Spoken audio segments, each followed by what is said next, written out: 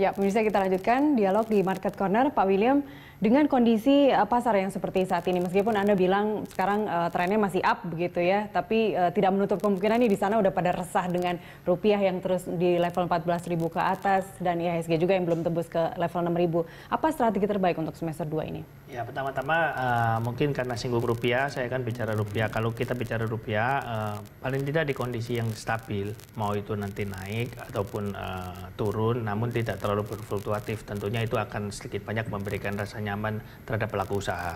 Jadi tahu secara perhitungan kosnya dia harus berapa, pengeluaran yang dia harus keluarkan berapa. Mm -hmm. Itu yang si game saja terpengaruh loh sama rupiah besar pasti lagi. Pasti terpengaruh. Nanti uh, kalau kita lihat uh, sebenarnya dengan pola uh, acuan kalau kita bicara USD index sendiri, mm -hmm. USD index sendiri uh, sepertinya tidak akan terlalu uh, terjadi penguatan yang cukup signifikan. Tentunya okay. Amerika juga tidak terlalu nyaman dengan penguatan USD index yang terlalu uh, besar. Mm -hmm. Jadi itu saya rasa yang akan cukup uh, paling tidak mendorong kondisi daripada rupiah sendiri akan akan ada terjadi apresiasi kalau mm -hmm. saya lihat. Mm -hmm. uh, kalau kita balik lagi ke IISG, kondisi dengan IISG yang seperti sekarang ini, kalau kita bicara jangka pendeknya, memang uh, pola yang terjadi adalah mulai ada ada sedikit banyak harapan atau mulai untuk bisa kembali ke level uptrend okay. setelah uh, melalui level sideways atau konsolidasi yang uh, kita bisa katakan cukup singkat. Mm -hmm. uh, kalau kita bicara jangka menengah, sebenarnya itu kita lebih bicara uh, ini adalah titik awal uh, daripada yang kita harus lakukan investasi.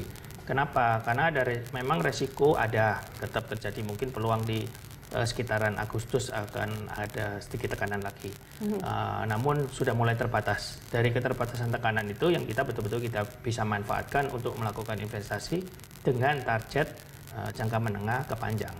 Kalau kita bicara jangka panjang seperti tadi kita ulas dari 2012 hingga sekarang pol polanya masih uptrend. Okay. Jadi tidak ada yang perlu dikhawatirkan untuk IHSG. Mhm. Saham-saham mm -hmm. uh, apa saja yang uh, aman untuk kita tetap koleksi di saat ini? Uh, sebenarnya yang menjadi top kita lihat adalah perbankan. Hmm. Karena perbankan kita tahu dari sejak kita kecil kita diajarin bahwa uh, dari perekonomian adalah Saving. perbankan. Ya. Jadi itu salah satunya. Kita tahu mungkin empat bank besar seperti BRI, Mandiri, hmm. BNI sama BCA ya. Itu kita lihat uh, masih pasti akan masih cukup stabil. Yeah. At least uh, tiap tahun dia masih bagi dividen. Uh, mungkin di bank kecilnya kita bisa lihat seperti Bank Jatim itu masih akan cukup menarik kita lihat karena Bank Jatim ini juga salah satu uh, pemberi dividen setiap tahun yang cukup besar. Hmm. Nah itu salah satunya. Kalau kita lihat uh, lewat dari perbankan mungkin kita bisa lihat ke infrastruktur seperti telekomunikasi terutama di dalamnya Telkom, XL itu masih akan cukup menarik. Yeah. Ya. Uh, demikian juga infrastruktur seperti jasa marga meskipun terlihat sekarang uh, ada tekanan tapi uh, kondisinya adalah sedikit banyak dia mulai berusaha untuk rebound. Mm -hmm. Terkait dengan uh, komoditas, terkait dengan eh, sektor-sektor di uh, komoditas kita yang uh, terkait dengan perang tarif. Ya, kalau kita bicara komoditas, sebenarnya komoditas itu kan sudah mulai naik dari uh, 2016 kalau kita bicara coal. Kalau kita bicara uh, mungkin minyak di sekitar pertengahan 2017. Namun kondisi minyak ini sangat ber berfluktuatif. Kita tahu kondisi minyak ada kenaikan sampai dengan di atas 70 dolar per barrel. Hmm. Uh, namun kita tahu dari seperti contoh semalam tahu-tahu uh, minyak bisa anjlok sampai dengan 4% lebih. Yeah, yeah. Jadi itu yang uh, perlu dicermati oleh investor dengan kondisi yang sudah tinggi. Uh, apakah kita siap untuk investasi di kondisi hmm. yang uh, tinggi? Sebab di aneka sektor aneka industri dan perkebunan kemarin sempat mengalami pelemahan yang cukup tinggi. Ya, kalau kita lihat uh, perkebunan sendiri, memang uh, kita tahu perkebunan ini sangat berkaitan dengan cuaca. Kondisi cuaca seperti kemarin bisa mengalami kenaikan yang cukup tinggi adalah karena kita tahu ada kondisi seperti El Nino, terus dilanjut dengan La Nina. Sedangkan hmm. sekarang kondisinya aman-aman aja untuk cuaca, sehingga tingkat kebutuhan untuk CPO sendiri kemungkinan masih permintaannya belum terlalu besar. Baik, terakhir uh, Pak William, bagaimana uh, tips untuk mereka yang baru mau memulai menjadi investor, baru ya. mau nabung saham?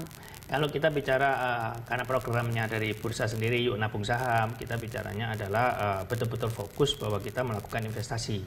Jangan nanti kita beralih dengan posisi kita bicara jadinya bukan yuk nabung saham, jadinya yuk trading saham nanti.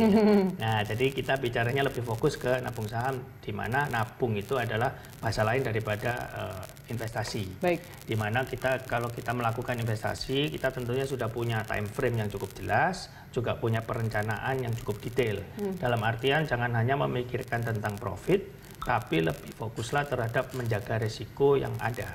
Mm-hmm. Jadi itu yang harus kita lakukan. Dengan kondisi yang seperti sekarang, lakukan mulailah dengan yang kondisi yang saham-saham memiliki likuiditas yang cukup.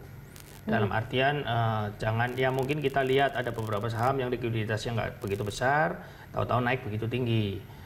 Uh, nah, kalau kita masuk ke itu resikonya akan jauh lebih besar. Oke, okay, jadi yang safe aja. Ya, kita cari yang lebih safe dulu namanya. Kita mau saving kan, jadi yeah. carilah yang yeah. safe. Safe, jangka panjang dan itu aman untuk dikoleksi. Yeah. Pak William, terima kasih telah bersama kami di Market Corner.